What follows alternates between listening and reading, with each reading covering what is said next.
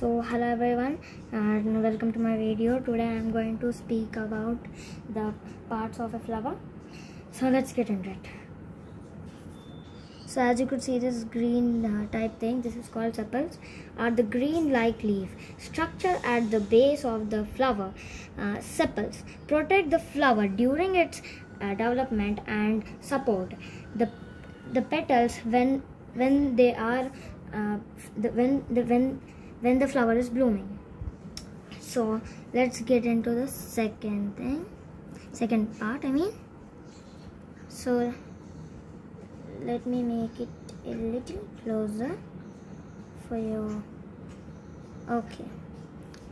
As you could see this is a petal. So let me give a one line uh, thing uh, explanation on a petal are colorful structures that surround the inner parts of the flower. So let's zoom back.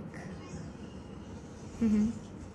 so we're going to on third this is as as you could see this a long thing from bottom to up. This is a stylus and this pink part as you could see guys uh, let me make it a uh, thank you for your waiting.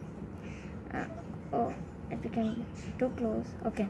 This is a stigma and as you could this is a pink thing.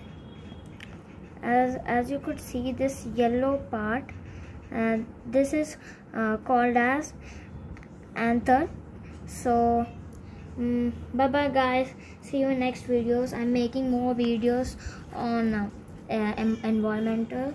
And uh, uh, soon on september 1st i will be doing a video on five topics uh, speech. So bye bye guys.